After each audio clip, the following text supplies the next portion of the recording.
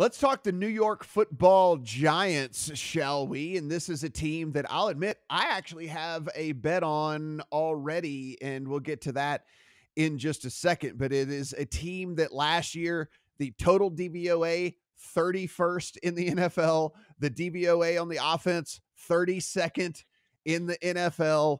So it was not good last year by any stretch of the imagination. That being said, Stephen, they go out.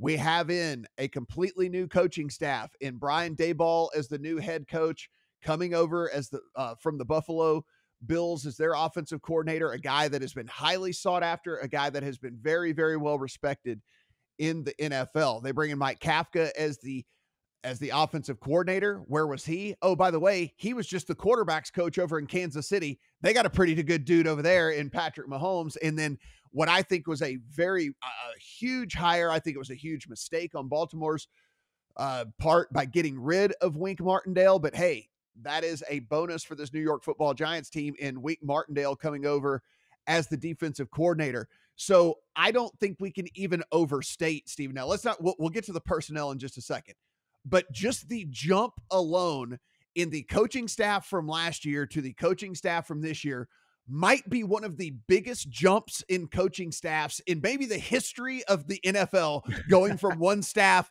to a new staff. And Brian Daboll's never even coached a, a day of, of, of football for, as a head coach in his life, but I I feel that confidently with the with the clowns that were there last year to what they have this year in in Daboll, who again, I'm no, you know, I'm no scout. I've never coached in the NFL, but everyone that has and everyone that does thinks that this guy's the real deal and thinks that he is truly going to be something special.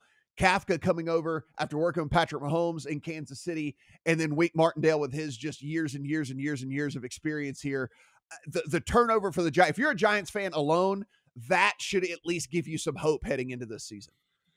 To your point about the ineptitude of this franchise from both a coaching staff situation and the front office, five straight years this team has gone under the win total. And at no point over the past five years did they have a winning record. Not not not even like one and zero. Oh did they have a winning record? They're the only team in the NFL where that's been the case. So I I do love Brian Daboll. Like I've joked in our in our slacks that you know, he's God. That he's right. God Daboll. Like you love Jesus H. Burrow. I'm a fan of mm-hmm. God Daboll.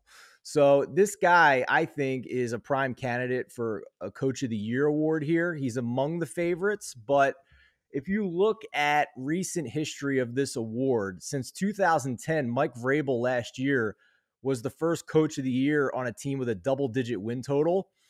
But take into account that there was an extra game last year. So, and also since 2010, all but the last two coaches of the year exceeded their win total by four plus games. So, we're looking for a coach with that upward mobility and the opportunity to vastly exceed expectation. And since 2010, all but one coach of the year had a win total of at least seven. So, we're looking in that seven to nine and a half range. Well, it turns out there's two head coaches in the NFC East that fall into that category. Nick Sirianni with the Eagles, but also Brian Daboll the Giants, who has a win total of seven. But it's Daboll that has the easiest schedule in the NFL this year based on opponent win totals. So there is potential here for him to vastly exceed this win total just based on how easy the schedule looks. And over six and a half is minus 135 at BetMGM. Over seven wins is plus 105, still available on the market. I like that plus money.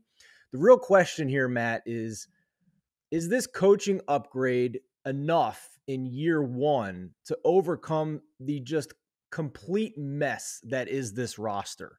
And that, you know, some of some people on our staff are bullish on this team doing big things at big numbers when it comes to futures. I can't really get there in year one beyond just the win total. Yeah, I mean, so look, the there are some pretty key players. I know you're saying key players from a four win team, but th- there were some pretty there are some pretty key players that are out of town, right? Evan Engram's gone, James Bradberry's gone, Austin Johnson is gone, Lorenzo Carter is gone, Jabril Peppers is gone, Will Hernandez is gone, Logan Ryan is gone. So there's a lot of guys that I, I understand you're saying, hey, dude, they only they only won four games last year as it was anyway. Still, those are some key players. Those are some good players. They're going to go and they're going to have they're going to have good years elsewhere.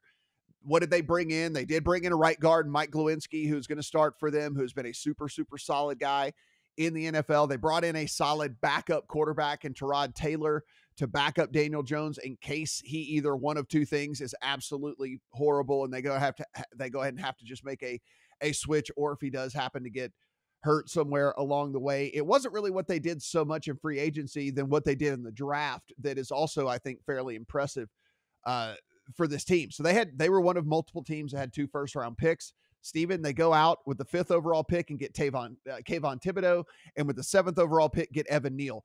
These are two different players that at some point or another leading into the draft process were the favorites to go number one overall in the draft. And they got two of these guys with mm. their number five and number seven pick. They have an instant impact guy on the defensive line, an instant impact guy on the offensive line, and then go out with their second round pick and get Wan'Dale Robinson as a guy who I believe is, yes, there's going to be a little bit of a learning curve for him. A lot of people were saying that it's a little bit of a raw skill set that does have a ton of upside here. But again, I like the pick. I like them kind of swinging for the fences on stuff like that. You come back with the two third round picks and take an offensive guard and a corner. I think that what they did in the draft as well did make this team better. I think what this all just comes down to, if you kind of look top to bottom, Stephen, for me, it's just it's what can Daniel Jones do, right? I mean, yep. is Daniel Jones is he at all good or is he just complete gutter trash? And here's the thing is, I don't think it's fair for us to judge whether he's gutter trash or not from the body of work that he's put together so far because like you mentioned, this has been one of the most inept franchises with the most inept coaching staffs in the NFL over the last several seasons. So I can't hold it completely against Daniel Jones that that he is just you know the worst quarterback we've ever seen and what a bust he is, et cetera, et cetera. Because I don't know for sure he's been given a fair shake. I do believe this coaching staff is the coaching staff to give him a fair shake. And so if he's terrible this year, then I think we can go ahead and write him off and say, okay, Daniel Jones isn't the dude. But you look around and you've got Ricky Seals Jones and and Kenny Golladay and Kadarius Toney and Sterling Shepard and Wan'Dale. You got Slayton still there as well. You got Wan'Dale Robinson. You, you still you have Saquon Barkley who says he's healthy. There is a lot going right for Daniel Jones here, and if he can't get it done, then maybe yes, he is just a, a giant bust. To me, it's kind of similar to to Jalen Hurts in the first year of the coaching staff last year, where you know I basically call that his rookie season. Mm-hmm. I'm basically going to call this the rookie season for Daniel Jones because I do agree with you that he was put in a situation where it, it was almost impossible not to fail with how just awful the front office and the coaching staff was. And the, the, statistics back that up. In terms of stable stats, where he ranked in EPA per attempt, 35th. There's only 32 mm. teams in the league. 35th on early downs without play action, 31st on first downs in the first three quarters, 28th on layup throws. So those stats do concern me because those I feel like are stats that he can control. Um, but even in the less sticky stats, he, he still wasn't good, obviously. 24th or worse when under pressure, outside the pocket, play action, when being blitzed. He was 32nd in fourth quarter EPA per attempt and went on the move. So, what is improvement and is that enough improvement is my question here because it's unrealistic to think that just because Brian Daboll made Josh Allen look like a bad quarterback and made him into the, you know the best in the league, one of the best in the mm-hmm. I don't think that's a realistic expectation for Daniel Jones. I think it's unfair to cherry pick training camp videos, but for what it's worth, we have seen more horrifically bad training camp videos of Daniel Jones than we've seen highlight throws of him since this camp has opened with Brian Daboll. So I think there's going to be a learning curve here. I don't think he's going to go from one of the worst passers in the league to above average. I think it's a Jalen Hurts situation where maybe he can kind of be middle of the road. And is the rest of this roster around him good enough to win the division at long odds or make a run in the playoffs? Maybe they sneak into the playoffs with the, the easiest schedule in the league. But to me, the that's that's it. Like that's the ceiling. And you saw what happened with the Eagles in their in their playoff game against the Buccaneers last year. They couldn't move the ball. So um, that's kind of where I'm at. They're they're seventh in the league with the most dead cap space on the salary cap, and the players they have left on the roster really aren't elite either. So there's not really much there to help Daniel Jones. Yeah, so for me, I played the alt over on this team. So I played over 8 at plus 215. I think that 8 is a fair it's a fair number for this squad. I'm talking about an under 5 I'm talking about an under 500 team and I can still get a push here, a, a 9 win team if they can get above 500 and I'm going to cash a plus 215 ticket. Here's my breakdown. One, it's that easiest schedule that you're talking about, and I think it's probably even easier than than what we're looking at from the advanced stats right now because me personally, I'm further down on Tennessee than most people are. They kick off the season against Tennessee. Now it is at Tennessee, but I'm I'm further down on the Titans than most people are. I think that is a very winnable game for this team. Carolina's not going to have it all figured out by week 2. They play Carolina week two. Chicago in week four is going to be one of the worst teams in the NFL, if not the worst team in the NFL. They still play Jacksonville. They still play Seattle. They still play Houston. They still play Detroit. They get two games against Washington. And I am really looking at 10 winnable games for this for this squad here. And I only need them to win you know, nine of those games. And they're going to surprise in one of these games somewhere along the way as well. Maybe they upset Dallas. Maybe they upset a Minnesota. Maybe they upset uh, one of these one of these teams that we think is going to be good. That maybe not Minnesota. I'm you know a little bit higher on, but maybe they're not as good this year as, as we think. So I, I am I I took I played the alt over here and I feel pretty good about it. Uh, you know, listen, is it a likely push? Does eight and nine seem about right for this team? It does, but if they can overachieve just a little bit, Stephen, I'm going to cash a plus 215 ticket. And that's kind of how I like to play the Giants this year. Here's what I'm really curious about. And I agree with everything you just said, but schematically on offense, this is what I'm curious about. I do think the offensive line should be better than what's on paper this year. They were mm-hmm. already above average in one in run block win rate last year. They added Evan Neal at the top of the first round, and they have three new interior offensive linemen. Maybe Saquon Barkley stays healthy this year.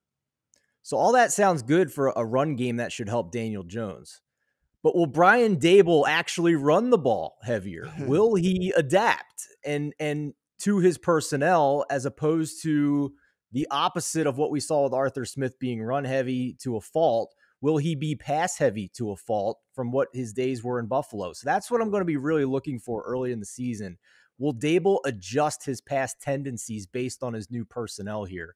Uh, if he does, I think that should keep the Giants in more games, especially early in the season.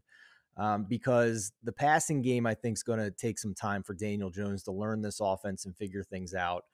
The secondary lost James Bradberry. They have a bunch of number two corners now that are they're highly questionable. Darnay Holmes was 93rd among cornerbacks by PFF if he had enough snaps to grade in there. Um, the front seven was bottom five in opponent rush yards before contact, so they couldn't stop the run. Some promising signs there for maybe a pass rush, but um, yeah, I think I think if Daboll is smart, he slows these games down, reduces possessions, to maybe increase some variance here where they can come out on the on the right side of it in some of these games. You can find 150 to 1 on the Giants to win the Super Bowl. And I'm not advocating for making that bet. What I will say is that's an off market number. You can go to the lines.com. You can look at our odds comparison tool. There's an 85 to 1 out there, Stephen. There's a 66 to 1 out there, Stephen for the Giants to win the Super Bowl, while there's also a 150 to 1 getting hung. Sometimes we make bets just because numbers are so incredibly off market. Yeah. And all we need is a team to get in the tournament. We saw Cincinnati last year. They got in the tournament, they got hot, they made a run.